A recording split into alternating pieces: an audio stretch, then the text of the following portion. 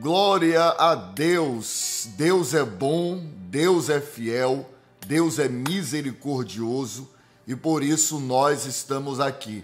Mais uma poderosa oração da meia-noite. Minha ovelha querida, muito importante agora. Prepare um copo d'água, como eu peço sempre, e também prepare é, tudo aquilo que representa a sua vida financeira.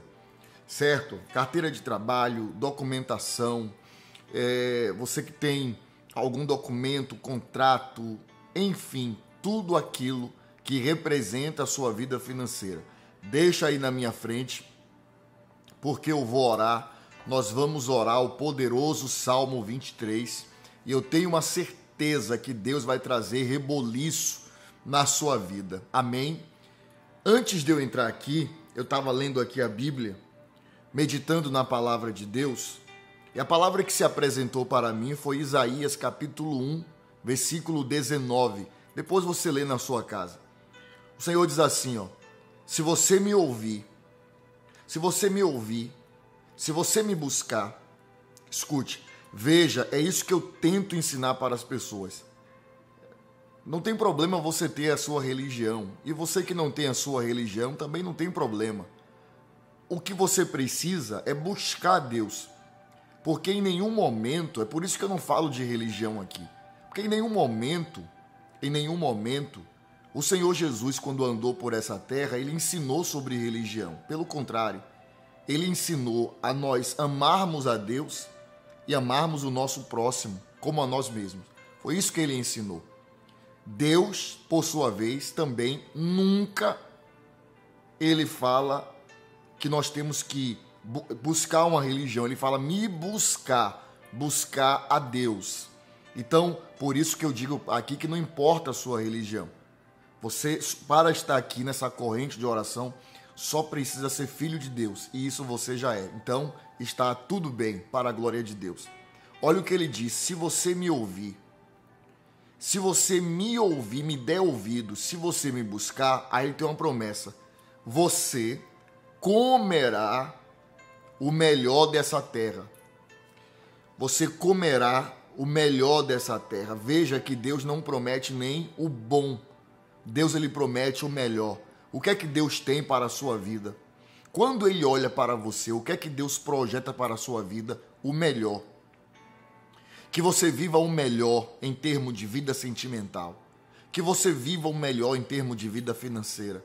Que você coma o melhor, que você tenha o melhor e isso não é ostentação como algumas pessoas que não entendem a palavra. Eu já vi gente falar assim: não, esse negócio de comer o melhor, isso é ostentação, mas é a Bíblia que fala.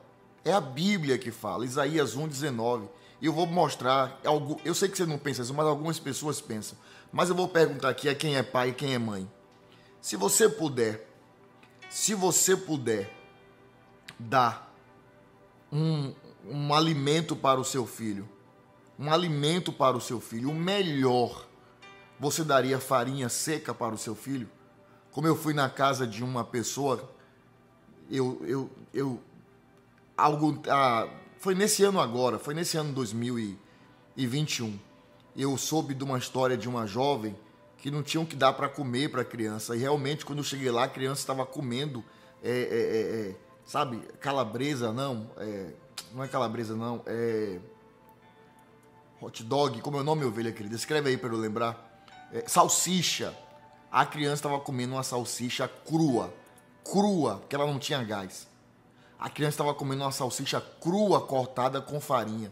Quando eu vi aquilo, eu fiquei mal por dentro. Aquilo me quebrou por dentro. Eu fui lá para ajudar ela, para levar o socorro, levar cesta básica, levar dinheiro, levar eu levei uma providência para ela. Tudo que eu podia, eu levei para ela. E ela começou a chorar, a dizer que não estava acreditando. Porque eu chegou ao meu conhecimento a criança comendo, não tinham que comer, e quando eu cheguei lá eu vi com meus olhos. E veja que ela não sabia que eu ia. Eu procurei onde era a casa, minha equipe achou e eu fui. E quando eu cheguei lá, tão certo assim, a criança comendo salsicha crua com farinha seca. Aí eu pergunto a você que é pai e que é mãe: se você puder dar uma comida boa para o seu filho, a melhor que tiver, você daria farinha seca para o seu filho? Não. Por quê? Você vai dizer, bispo, porque meu filho. Não, eu amo meu filho, bispo. Eu amo meu filho, eu amo minha filha. Eu nunca vou dar isso. Se eu puder dar o melhor, eu vou dar o melhor. Pronto, assim é Deus com você. Me arrepiei aqui, assim é Deus com você. Me arrepiei aqui agora, ovelha querida. Não sei se dá para você ver. Ele é seu pai. Deus é seu pai. O amor que o seu pai, que sua mãe tem por você, multiplique esse amor. Não existe, humanamente falando, o maior amor que existe, humanamente falando, é o amor de mãe. Amor de mãe e pai também, né? Quando o pai é pai de verdade. Amor de mãe e pai. Não existe abaixo do céu um amor maior do que o amor de mãe, do que o amor de pai. Mas o amor de Deus, ele ultrapassa, ele ultrapassa o entendimento humano. O entendimento humano. Meu bispo, eu sou mãe, eu daria minha vida, eu daria minha vida pelo meu filho. Eu acredito, Deus, Jesus Cristo, seu pai, deu a vida por você. Eu acredito que você daria a vida para o seu filho. Seu pai deu a vida por você. Você entende?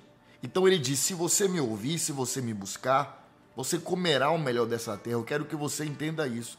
Você tem que olhar para a sua vida e dizer: eu terei o melhor, porque eu estou agora ouvindo a voz de Deus, eu estou buscando a Deus, eu estou debaixo de rotina espiritual e as coisas vão mudar na minha vida. E se acostume com isso. Creia nisso e se acostume com isso. Eu não vou colocar testemunho hoje aqui, porque você está ouvindo o fundo de oração, né? Eu coloco por um celular.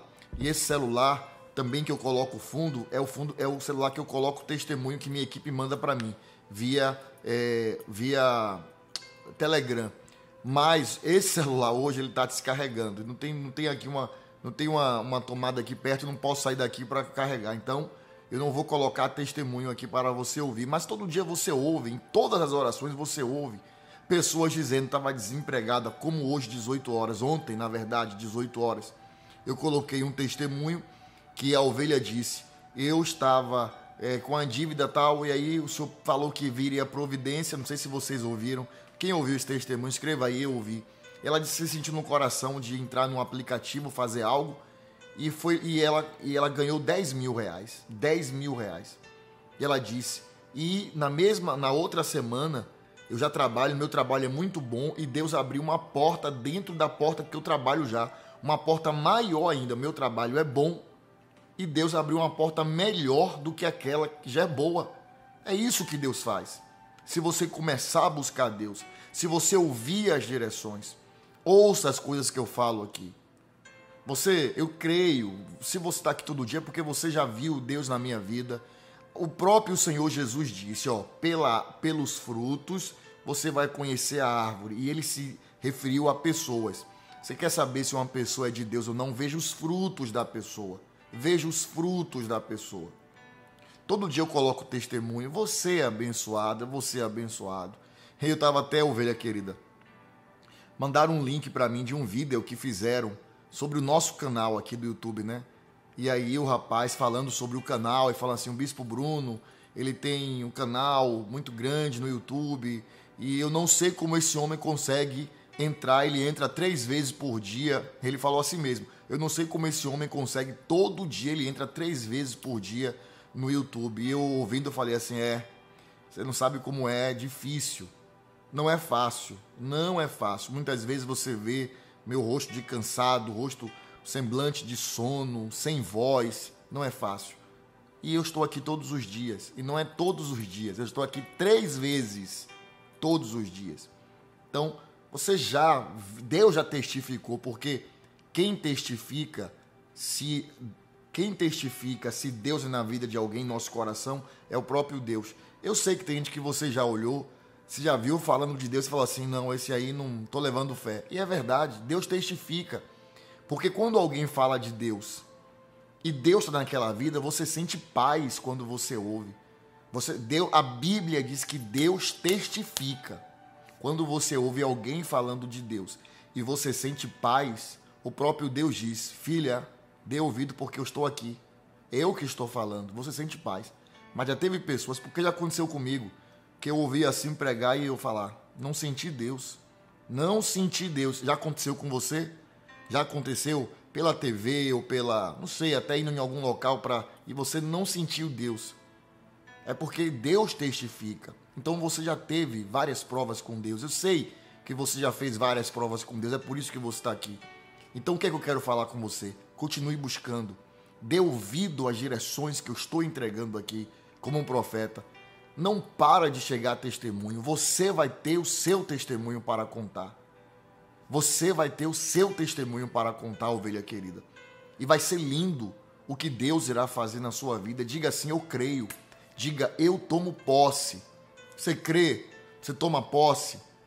Você acredita que o Deus do Salmo 23 vai abençoar a sua vida? Então continua buscando e dando ouvido.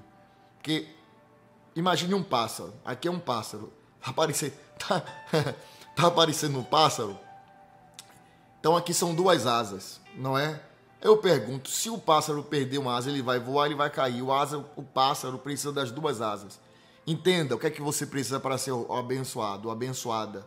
Primeiro, aqui, ó, buscar Deus. E segundo, obediência a direções. Não adianta você ou buscar Deus e falar, não, não vou fazer. Não, não vou fazer, não é dessa forma. Deus não vai te abençoar. É você buscar e você dar ouvido. Se você me buscar, se você der ouvido, Isaías capítulo 1, no capítulo 1 ele diz, versículo 19, se você me buscar, se você der ouvido, você vai comer o melhor dessa terra, ou seja, eu vou preparar a mesa, eu vou colocar fartura, eu vou trazer providência. Eu serei Jeová, giré na sua vida. Se você me ouvir, eu não vou te deixar faltar nada. Você crê, toma posse. Já estamos, já vou orar. Já estamos no último dia, né? Para quem tá, para quem está ao vivo agora, meia-noite e onze, não é isso? Meia-noite e onze meia-noite praticamente, é meia-noite 11. É, você que está ao vivo agora, quem me acompanha daqui para lá, já estamos em um novo dia, né? Já estamos no último dia do mês de outubro. O que é que vai acontecer? Na oração do dia, na oração do dia, daqui a mais ou menos menos de 5 horas já, já menos de 5 horas vamos voltar a orar de novo. Eu vou pedir, eu já pedi para você pegar um papel, escrever um problema que você quer que acabe, que você quer que termine assim como esse mês vai terminar hoje, problema que acabe assim como esse mês vai terminar. E eu vou te dar uma direção, você vai fazer um ato profético. Tenha certeza que Deus ele vai te abençoar, que Deus ele vai entrar com providência na sua vida. A próxima oração da meia-noite que nós entrarmos aqui, inclusive, já vai ser dia primeiro, né? Já vai ser dia primeiro de novembro. E eu creio, ovelha querida. Estou pedindo a Deus que esse mês, esses dois últimos meses agora, Deus venha colocar a sua vida financeira em, em ordem. Você crê? Vai acontecer isso. E muitas pessoas estão perguntando: a partir, somente a partir da oração da meia-noite, não é para fazer o propósito é, da oferta profética hoje, é, hoje pela manhã, porque não é dia 30 pode ser feito a partir da meia-noite da próxima oração, já é um novo mês, já é um novo dia, tá? Vai ser forte, vai ser bênção. Mês de novembro, eu creio que muitos de vocês terão testemunhos para contar. Eu não vou dizer todos. Por que eu não vou dizer todos? Porque eu sou verdadeiro. Nem todo mundo que ouve dá ouvido. Por isso que eu digo muitos. Porque eu sei que muitos vão dar ouvidos. Eu gostaria que todos dessem ouvidos. Mas nem todos dão. Você sabe disso. O próprio Deus disse que nem todos que estão em Israel são israelitas, ou seja, nem todos que estão buscando a Deus levam a sério. Leve a sério, faça sua rotina espiritual, faça as três orações, que você vai ver tudo mudar. Glória a Deus.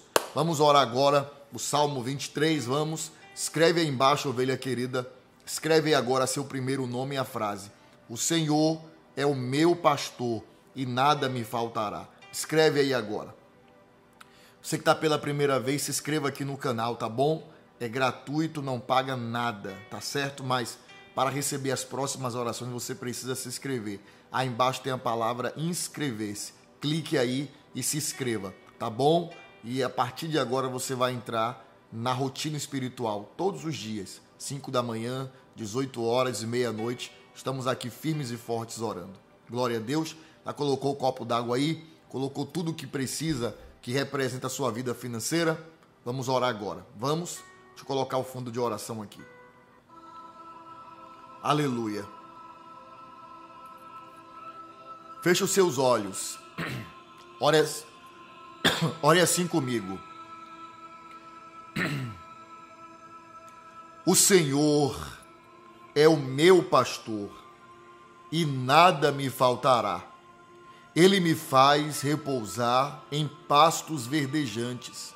Leva-me para junto das águas de descanso. Refrigera minha alma. Guia-me pelas veredas da justiça, por amor do seu nome.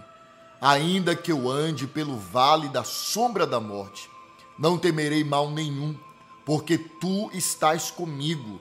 O teu bordão e o teu cajado me consolam. Prepara-me uma mesa na presença dos meus adversários. Unge minha cabeça com óleo e o meu cálice transborda. Bondade e misericórdia certamente me seguirão todos os dias da minha vida e habitarei na casa do Senhor para todo sempre. Pai querido e Pai amado, debaixo o Senhor da bênção, debaixo o Senhor da unção, eu quero declarar, meu Pai, debaixo da bênção do Salmo 23. Eu quero declarar um tempo de prosperidade, um tempo de honra, um tempo de dupla honra, um tempo de vitória na vida, meu Deus, das tuas filhas, dos teus filhos, em nome do Senhor Jesus. Levante o um copo d'água e diga assim: Eu recebo todas as bênçãos do Salmo 23. Feche os seus olhos com esse copo d'água na mão e ore assim comigo: Pai nosso, que estás nos céus, santificado seja o teu nome. Venha a nós o vosso reino Seja feita a sua vontade, assim na terra como no céu. O pão nosso de cada dia nos dai hoje, e perdoe as nossas dívidas, assim como nós perdoamos aos nossos devedores. Não nos deixes cair em tentação, mas livra-nos do mal, pois teu é o reino, o poder, a honra e a glória, hoje, amanhã e para todo sempre. E você diz: Amém. Diga glória a Deus. Amém, ovelha querida. Beba dessa água agora. Beba dessa água com calma, com cuidado e com muita fé. Cinco da manhã voltaremos, viu? Dorme, descansa e cinco da manhã levanta para nós entrarmos na nossa rotina espiritual. Agora eu quero que você compartilhe com o máximo de pessoas que você puder. Tá bom? Tá certo? Ó, seu bispo te ama muito, viu? Estamos juntos, ó, juntos, unidos, até a volta do nosso Senhor Jesus. Um beijo, ovelha querida. Compartilhe.